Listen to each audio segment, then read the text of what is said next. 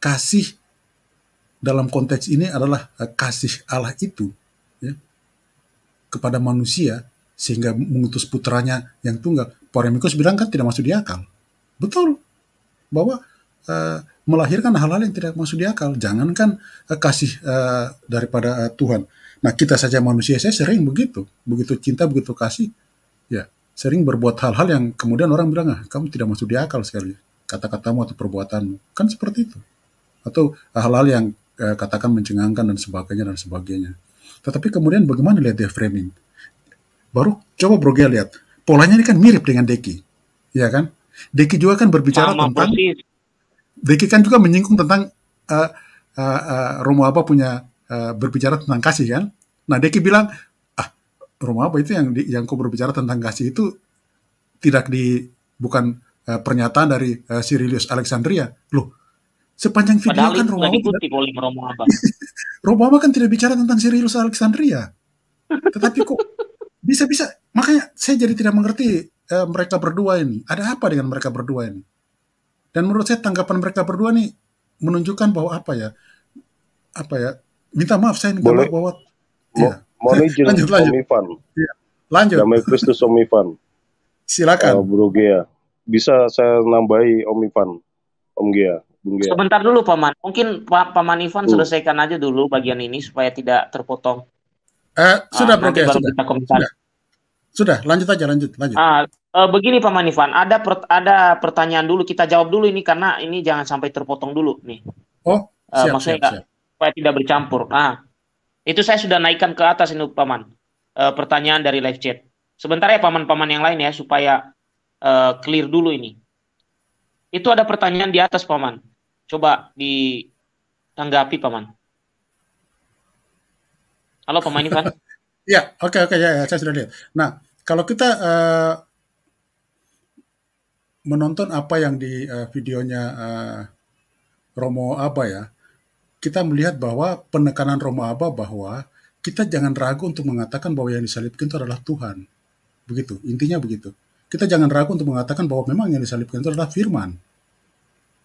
Yang uh, mati Tuhan, yang mati firman. Kita tidak boleh ragu untuk mengatakan itu. Pertama begini, pertanyaannya begini, uh, mengapa Allah mengutus putranya yang tunggal? Itu pertanyaan saya. Coba uh, kita coba TikTok, Bro ya. Kalau saya bertanya itu, maka jawabannya apa?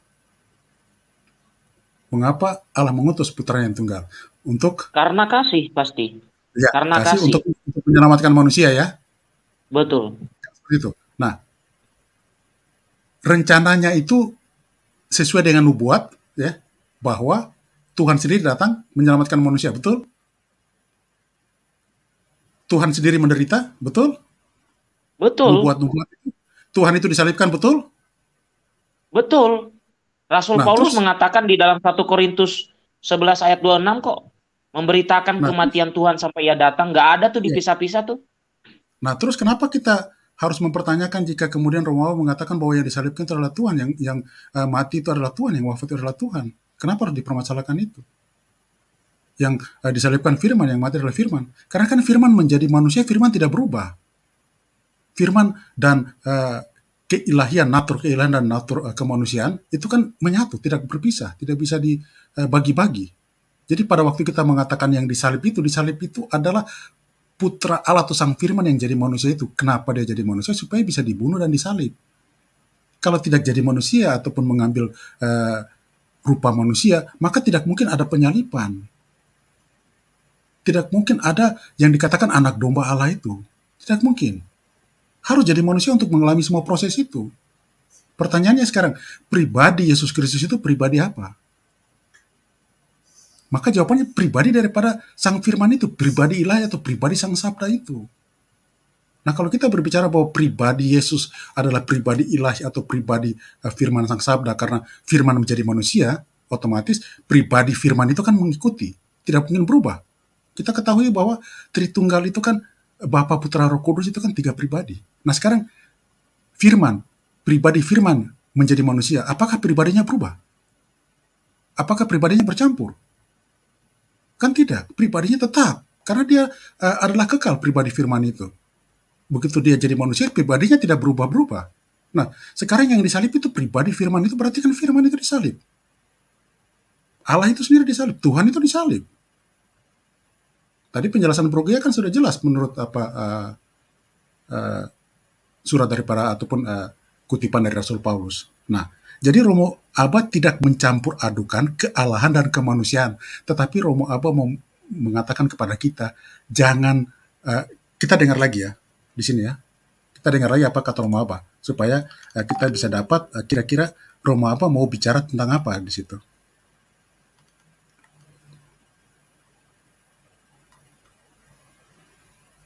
Nah, ini kita dengar ya. Sabar, kita coba. Uh, ada tentang ya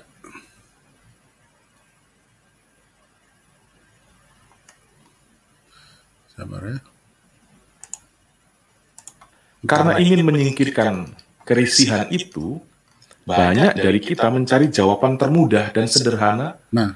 yang cocok dengan logika orang-orang, sampai-sampai menyederhanakan misteri ilahi untuk sekedar menuntaskan kekalutan orang yang bertanya. Bahkan tidak lagi peduli jika itu akhirnya menentang prinsip iman para rasul. Demi terdengar masuk di akal kalayak umum, kita rela memelintir sendiri iman kita. Ini tidak boleh terjadi. Atau mungkinkah kita sebenarnya sedang membangun iman kekristenan yang lepas dari iman para rasul? Tidak ada kekristenan di luar para rasul. Yang apa? Dan saudara-saudari, atas kekalutan pernyataan Tuhan kok disalib, saya memberi jawaban seperti ini. Nah, ini dia. Inilah konsekuensi dari kasih. Kasih kerap melahirkan hal-hal yang tidak masuk akal. Hal-hal yang di luar dugaan hal-hal yang mencengangkan.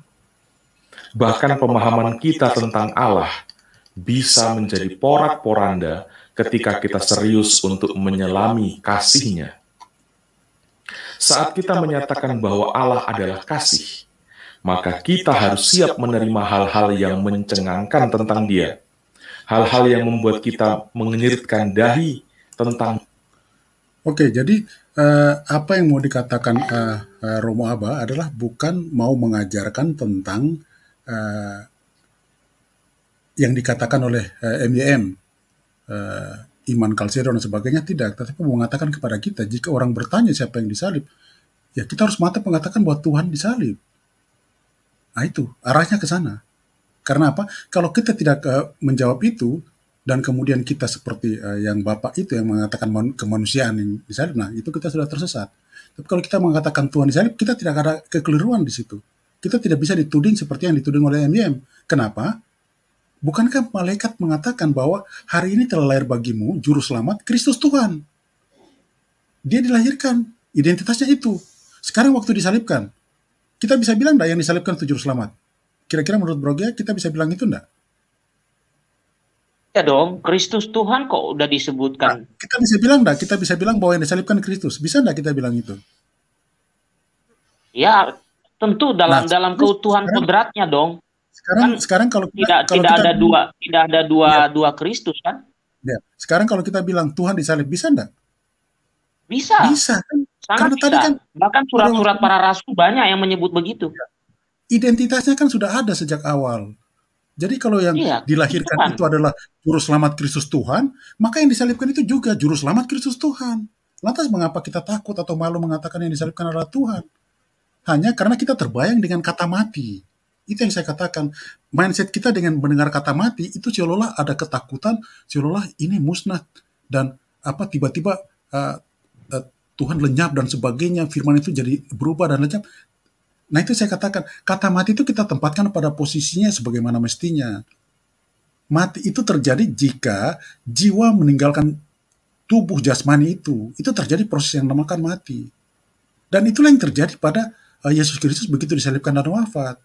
Dan pada konteks itu kita mengatakan Tuhan mati, tidak ada masalah kita katakan itu. Nah, kalau kita katakan firman Allah mati, persoalan tidak ada masalah juga karena apa? Firman menjadi daging, sungguh-sungguh menjadi manusia. Dan firman itu tidak berubah. Yang disalib itu firman yang menjadi daging itu. Apakah firman berubah? Tidak. Kalau kecuali kita memisahkan firman itu. Nah, dalam konteks ini uh, Romo tidak mencampur adukan antara kealahan dan kemanusiaan.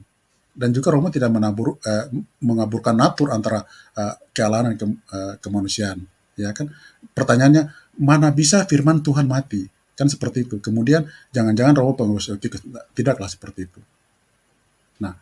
Sekarang yang harus kita lihat bahwa pada waktu peristiwa itu, pada waktu peristiwa itu maka kita akan mengatakan ya, Nah, sesudah peristiwa itu atau sebelum peristiwa itu dalam kekekalan, kalau pertanyaan ini ditanya uh, sebelum peristiwa uh, kelahiran uh, Kristus firman menjadi uh, manusia, pertanyaan itu sebelum itu, maka apabila ditanya maka kita akan kita tidak akan bisa menjawab. Orang Yahudi akan mengatakan tidak mungkin. Karena apa? Dia roh. Bagaimana roh bisa uh, dikatakan mati? Tidak mungkin kan? Tetapi pada waktu dia mengambil rupa manusia, dia bisa kita katakan itu. Karena itulah yang memang terjadi. Begitu.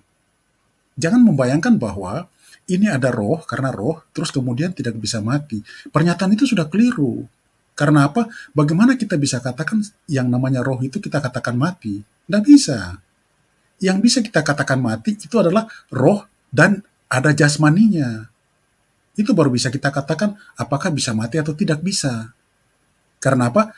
kematian terjadi jika roh berpisah dari jasmani. Itu proses kematian. Kalau hanya roh saja, begitu kita mengatakan apakah roh bisa uh, mati, kita itu pertanyaan yang keliru karena bagaimana bisa roh bisa mati? Karena yang dikatakan mati itu pada saat roh berpisah dengan jasmani. Nah, pada saat dikatakan bahwa apakah firman Tuhan uh, mati? Ya itulah yang terjadi pada uh, peristiwa penyalipan wafat dan kemudian bangkit. Nah terus kemudian kan orang takut, mati seolah-olah bahwa hilang, musnah. Nah itu yang keliru. Ketakutan kata mati itulah yang membuat orang jadi berpikir yang aneh-aneh.